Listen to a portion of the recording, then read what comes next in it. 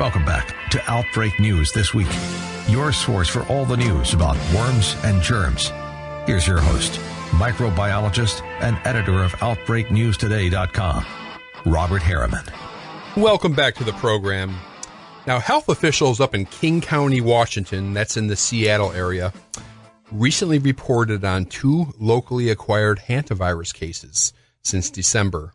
One resulted in uh, death, and the other patient has recovered. Um, the, this is a pretty rare situation. The last locally acquired case, according to health officials there, was in 2003. Now, if this was, you know, to see two cases that in a four month span of time, you know, if that was New Mexico, no one would bat an eye. Uh, but it is the Seattle area. Uh, joining me now is the husband of the hantavirus survivor, and his name is Mark Waterbury. Uh, not only is Mark the spouse of one of the patients, but he w- he's also a PhD in material science uh, with a specialty in adhesions and interfaces. Now, he's proposed some theories on transmission of this serious virus, which carries a case fatality rate somewhere in the ballpark of 35 to 40 percent. And he also has published a blog that's fairly new. It's called Hantasite.com. Dr. Waterbury, welcome. Yes, to, Robert. Welcome to the show, sir. Uh, glad to glad to be on. Thank you for having me on. Yes. Well, let's go ahead and start out with the most important thing: the recovery of your wife. How is she doing? Uh, she's doing amazingly well. As far as uh, we can tell, she may be doing uh, the, best that any hantavirus survivor out there is doing. Uh, she still has fatigue. Uh, it's now four months since uh, they extubated her. I kind of mark her recovery from that day, uh, December 1st last year. Uh, but and but she has actually returned to work. Uh, so she has good days and bad days. But uh, she was one of the lucky few in that it doesn't appear that damage was done to any of her major organs, uh, and uh, and her mind is is still intact. Uh, so she uh, didn't suffer too much from the extended uh, period of uh, being knocked unconscious. Well, I, I said in in the intro she recovered. Is it more correct to say she is still recovering? Yeah, she is still recovering. Uh, typically, uh, it, it, they say that recovery is rapid with few sequelae. That's the, the word that you'll see from CDC. Mm-hmm. Uh, I've heard that from very few actual hantavirus survivors. I'm in touch with about half a dozen or so at this point. Uh, it, more commonly, they, they continue to have fatigue issues.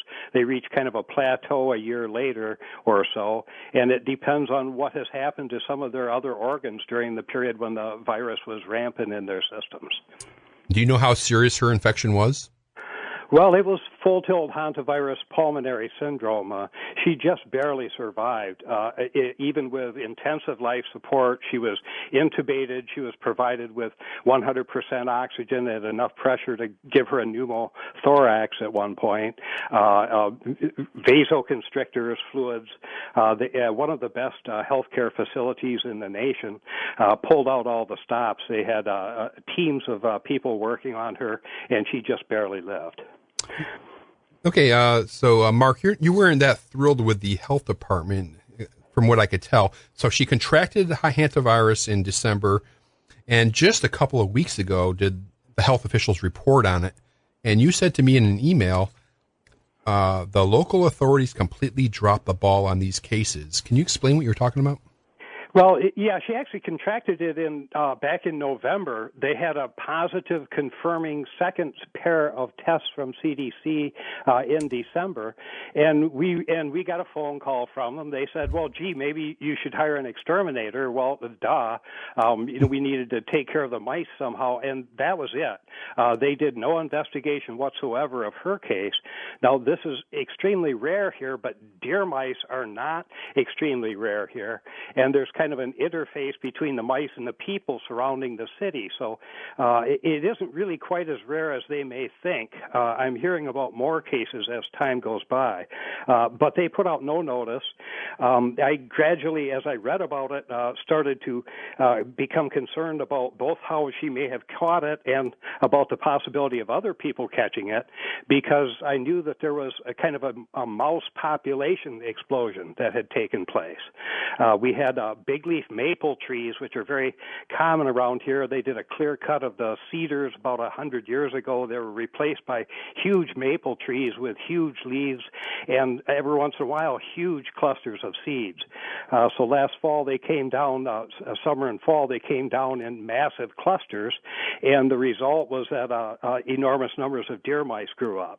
Um, but anyway, they they never did uh, announce that, and so I started working on a blog and was kind of preparing to make that public when we learned through the grapevine that there had been another case of hantavirus and that a man had died about 10 miles south of us here. Uh, yeah, I, to me, I find that a little odd that a place that hasn't seen hantavirus in in 14, 15 or 14 years, uh, health officials wouldn't investigate your property or or anything. That's you would think that they talked to us about it. It was uh, December 22nd when that came out. It's coming up on the holidays. Uh, they also, I guess, have had mumps, measles, and norovirus uh, going on around here, so right. they're busy, uh, perhaps just simply overtasked. But but also they didn't want to worry people. So when I, I spoke uh, with them, uh, this is after I had gone public with things. Uh, they uh, went on and on, assuring me, "Oh well, we don't want uh, people to be concerned. We have to balance." Whether we bother to tell anyone. Uh, but uh, that's a cluster for around here. And that, in conjunction with the fact that there is this increase in uh, the mouse population, means it's, it's not just a cluster out of the blue, but it, it uh, links up with this actual physical reality. There are an awful lot of deer mice that were looking for places to live uh, after, after the uh, weather turned cold in the fall. Yeah, so you, you set up this website. It's called hantasite.com. I encourage listeners to check it out. It's very interesting. And uh, you, you even were um, uh, featured on ProMed Mail, which is an infectious disease uh, uh website. And on your site, you discuss the, the problem with the hantavirus hotspot in the area. And I think you've already touched on it a little bit, but can you discuss that in more detail? Yes. Uh, uh, so I began to look at what what could have happened? Why us? Why did this happen to my wife? Uh, it, it, seemed very strange that uh, there are two million people in King County. King County includes Seattle, Bellevue, Redmond, and all of the outskirts. Two million people over a 13, 14 year period is you know one in 26 million. Uh, why us? So as I looked at that, I began to be concerned. Uh, was especially concerned about the deer mice. Also concerned about the possibility of infection through the automobile cabin air filter. We knew that we had had mouse infestations of that air filter system in her Toyota Sienna previously. We had found them a couple times. I'd cleaned them out. I'd Googled it and tried to find uh, any information on how to seal up those gaps, but I, I didn't get very far with that. But but I knew that there are a lot of deer mice. When uh, when you look at how people have tried to predict hantavirus, they typically talk about wet seasons. It, when you have a wet season, El Nino uh, it caused an alert from uh, NOAA to go out over that same ProMed site uh, recently. Uh, they have a wet season, and if you have mice in a dry area like the desert, well, moisture is a breath of life. That's what what brings life to the desert. So of course you have an increase in deer mouse population when it rains. Here, though, we have a wet season cases. This is November and February in uh, the Seattle area. It's, it's almost always the wet season here, but in particular, those are sopping wet seasons. So it seems like a different kind of a situation. Um, but also, the, looking at the bigger picture of how it is predicted, it, you don't really want to predict it with just saying when it's wet. Uh, looking at it locally here, what factors affect the deer mouse population? When that population goes up, the uh, population of hantavirus within those deer mice also likely goes up. The, the deer mice are going to live longer. Once they've got it, they never get rid of it. And so you can have a, a kind of a multiplier effect. More deer mice uh, with more hantavirus coming into people, uh, contact with people more frequently. So it appears to me that the outskirts of the Seattle area during these uh, mouse population surges that we have periodically, uh, and in areas where these big leaf maple trees are, which is a lot of the uh, uh natural environment here, are potentially hantavirus hotspots. Uh, I've heard uh, also about a, a, couple other cases over the years that were in similar kinds of environments, and I know that this second case was also in an area where there are a lot of these big leaf maples. Now, yeah. In addition, uh, you discussed you, you talked about it already a little bit about the possible transmission of the hantavirus to people through automobile air systems. Can you talk about that in a little more detail? Yes, and this is the thing that, that really came to concern me. Uh, it, it, a local hotspot here, well, maybe that gives some predictive value for something that's still fairly rare. But uh, I had previously had this concern about our automobile air systems. It kind of fits in with my background in material science and in adhesion to uh, look at that as a bunch of interfaces, a bunch of connected areas between the virus virions, the little virus particles, and, and the uh, the rest of the mouse urine, and uh, uh, there's a lot of proteins in it, and uh, and urea, and bile solids, and so forth. But so when the um, when the mouse urine and feces are moist, it's very difficult to separate that material. The moisture basically glues it all together.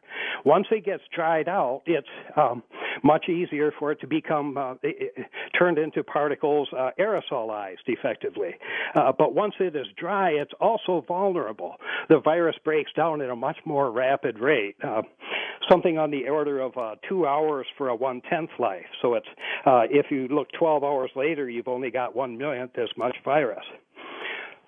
So if a, a mouse pees in the corner of your garage, pees and poops in your garage to use the technical terminology there, uh, and you get around to cleaning it up a week later, there's nothing left of the hantavirus, probably.